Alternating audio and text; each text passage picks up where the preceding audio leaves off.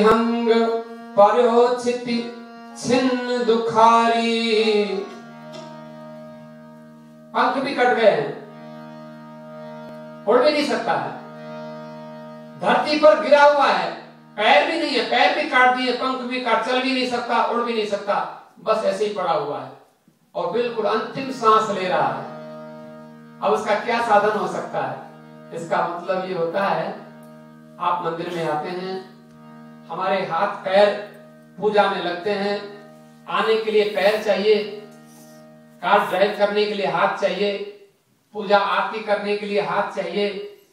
लेकिन इन सबसे ज़्यादा इंपॉर्टेंट वो बेचारा वहाँ आरती कर रहा था क्या? कुछ भी तो नहीं कर रहा था, लेकिन उसका हृदय था एक।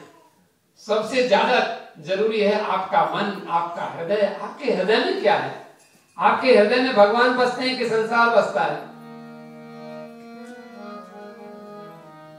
बड़े बड़े शक्तिशाली लोग होते हैं। और देखकर मैंने उदाहरण दिया आपको, भीष्म पितामह का। भीष्म पितामह की निंदा नहीं है।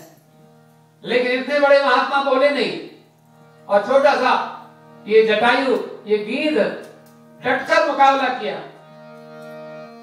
दीन मलिन अधीन हो अंग विहंग पर्योचित छिन्न दुखारी।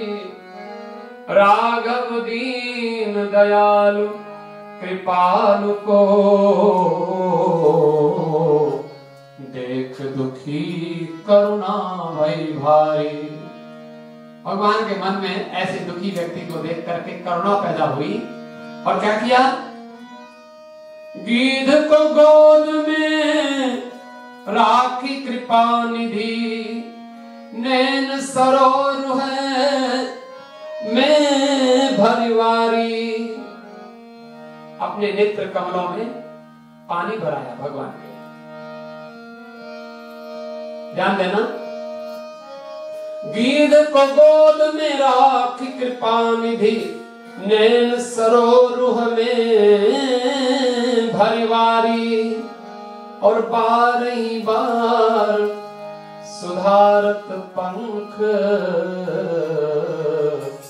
जटायु की धूर जटान सोझारी।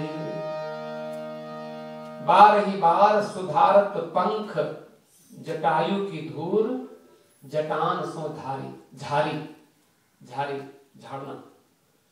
अभी भगवान ने क्या किया? ये ये कवि की कल्पना है। सच्चाई है। जटायु को भगवान ने देखा कि ये बेचारा इसके हाथ पैर काम नहीं कर रहे कहीं जा नहीं सकता है तो इसके सामने मैं पहुँच जाऊँ, ये तो ठीक है।